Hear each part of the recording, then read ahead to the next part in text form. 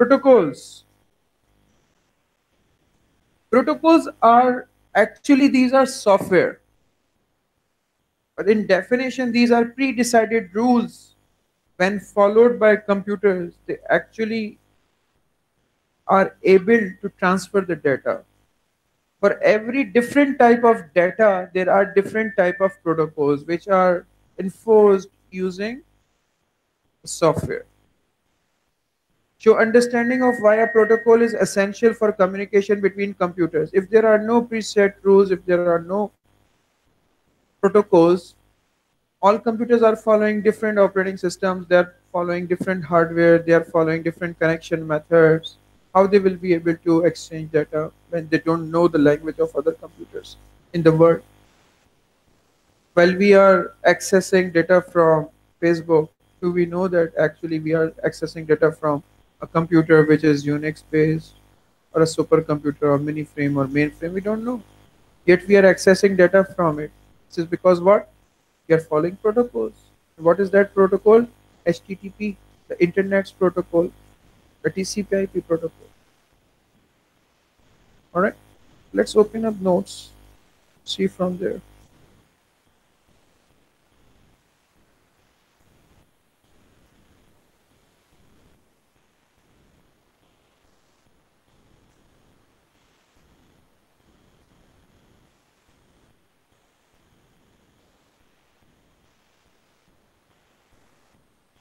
So what is a protocol? A set of rules governing the way the devices communicate with each other. It is preset. It is preset.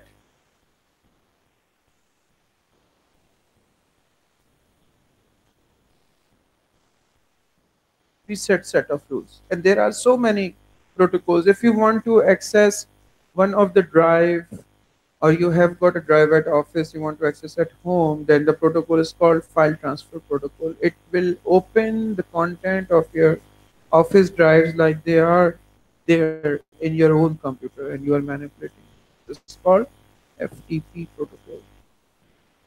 Http protocol it enables you to interact over the internet using tcp ip pop3 this is point of presence. Sometimes it is post office protocol version 3 whatever it is it means that how you actually receive the data in email. If it is private email this is not web based email. If it is gmail or hotmail or something then the protocol is called smtp oh this is not smtp this is uh, of SMTP. Uh,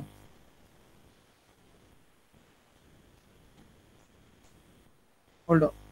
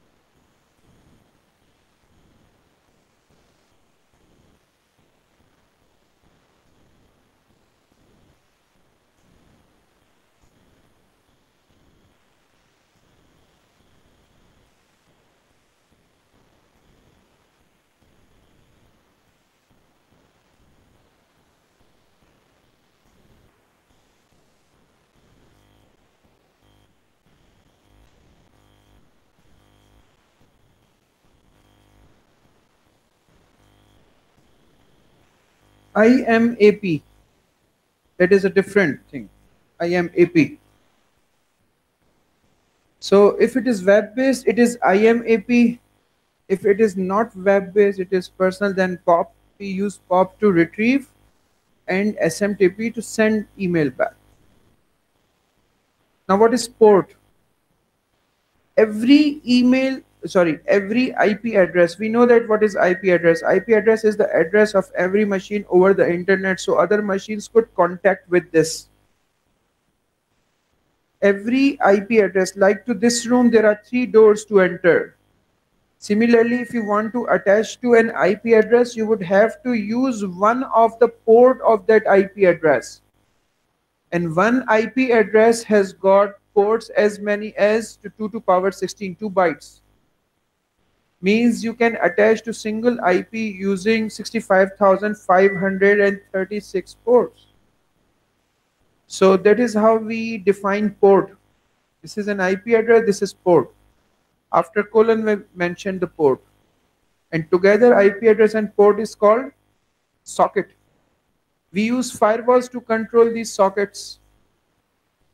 Every software in the world is accessing their server. Let's say you have got this Facebook installed over your cell phone or your computer and you are accessing that Facebook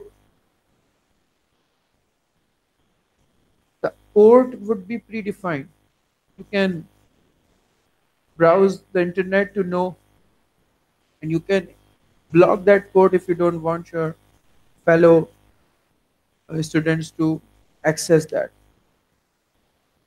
That is how schools are actually blocking access to Facebook or other websites.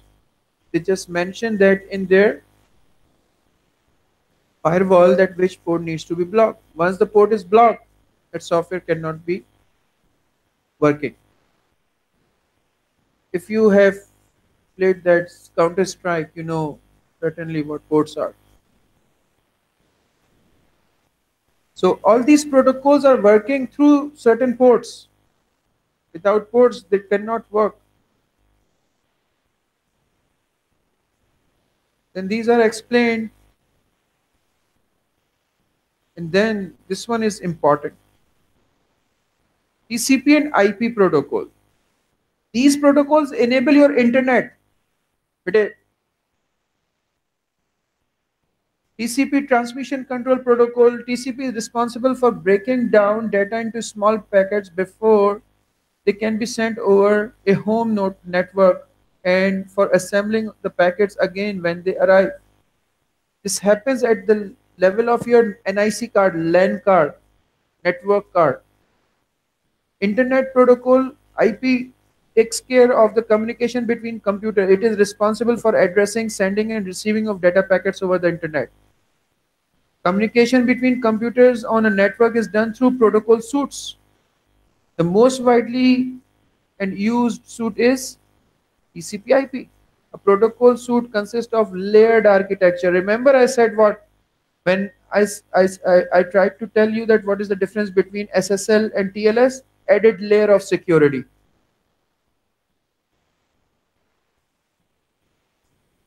The most widely used and available suite is TCP/IP. A protocol suite consists of layered architecture where each layer depicts some functionality.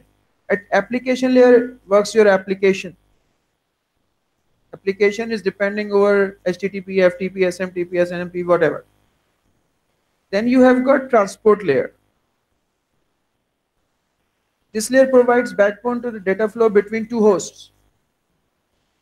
This is like the road. Then we have network layer. This layer is known as internet layer. The main purpose of this layer to organize the, or handle the movement of data on network. It's like traffic police. Data link layer. This layer is also known as network interface layer. This layer normally consists of device drivers in the operating system and the network interface card. Your card and related software. That is data link layer. And how these layers work? They layer this way. They work this way, sorry. So you have got one application data goes to transport layer then network layer then data link layer This is the media through which it is being transferred. Do not pay attention to this figure now. Just leave it. And when it comes back, it comes back this way. All right. Other way around. Data layer, then to the network layer, then transport layer and application layer. What I want is you should be knowing few of the protocol names and their work, the related tasks. Secondly, you should be remembering all these layer names, internet works and layer. And what happens at, at, at each layer, it is necessary. And then we have peer-to-peer -peer network. Peer-to-peer -peer network, we all use what? BitTorrents. That is peer-to-peer -peer network. Peer-to-peer -peer networks means there is no server involved. All computers are actually directly handling each other. And there are terminologies attached. And these terminologies are we have seeds, we have torrents,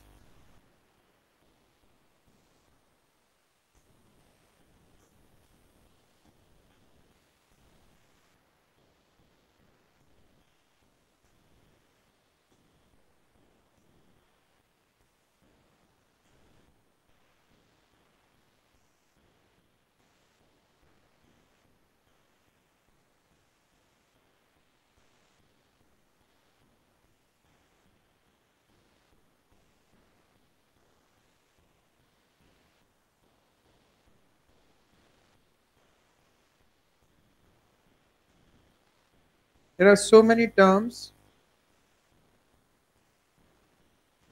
Let's discuss few of them. First one is torrent. A torrent can a torrent can mean either a torrent metadata file or all the files described by it. What does that mean?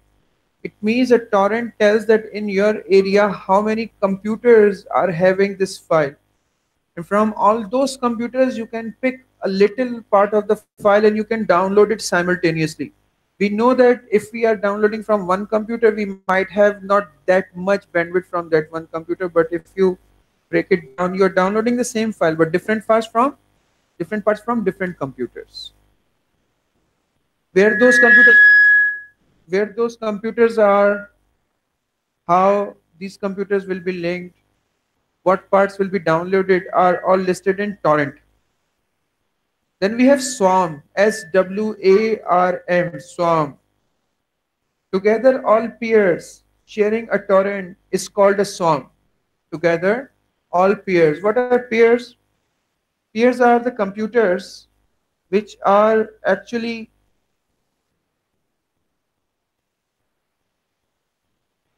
BitTorrent clients. Means a peer is one instance of BitTorrent client running on a computer on the internet to which the clients connect and transfer data.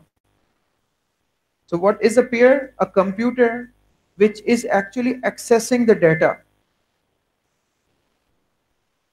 And not just accessing the data, the data which is being accessed can also be uploaded simultaneously because they all peers by the rules, by the law, what is being downloaded will be uploaded as well.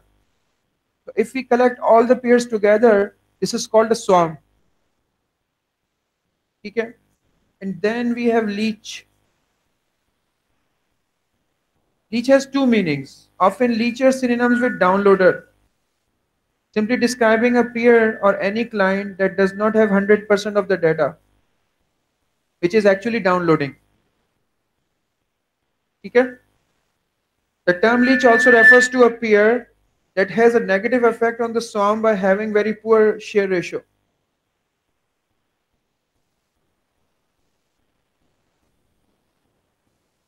Means the computer which is uploading is actually uploading at the slower speed. This is also called a leecher. Alright.